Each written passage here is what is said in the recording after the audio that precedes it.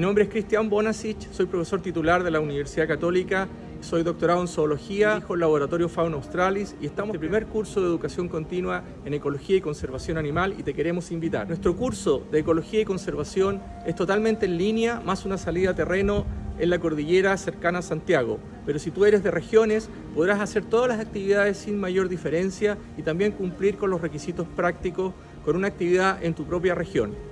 La modalidad del curso es dos veces a la semana.cl. Te esperamos en este curso.